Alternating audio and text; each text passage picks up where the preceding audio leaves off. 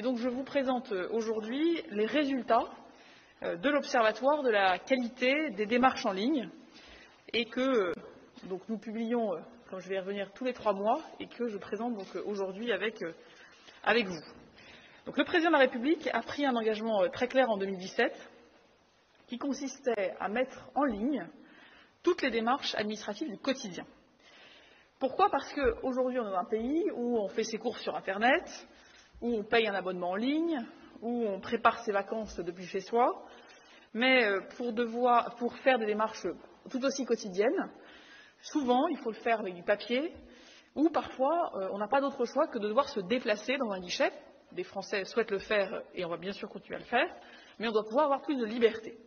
Et donc euh, que nous puissions aussi déposer nos dossiers auprès des services publics bien par l'outil numérique.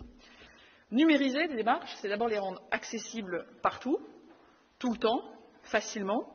Et ces démarches qu'on cible, ce sont les 250 démarches que les Français font le plus souvent dans l'année, celles donc qui sont euh, eh bien, les démarches qu'on appelle les démarches du quotidien.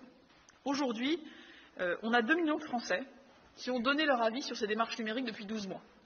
Ce sont des Français euh, de tous les horizons, des Français qui vivent dans les territoires ruraux, des Français qui ont une bonne connexion, des Français qui ont une moins bonne connexion, des Français qui sont à l'aise avec le numérique et des Français qui le sont moins.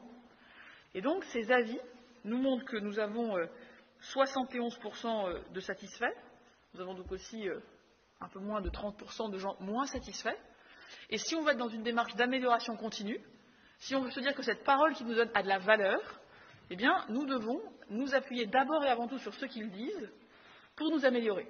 Parce que parfois, la manière dont nous, nous pensons nous devoir nous améliorer n'est pas forcément ce que les Français qui font l'expérience du service nous disent eux-mêmes.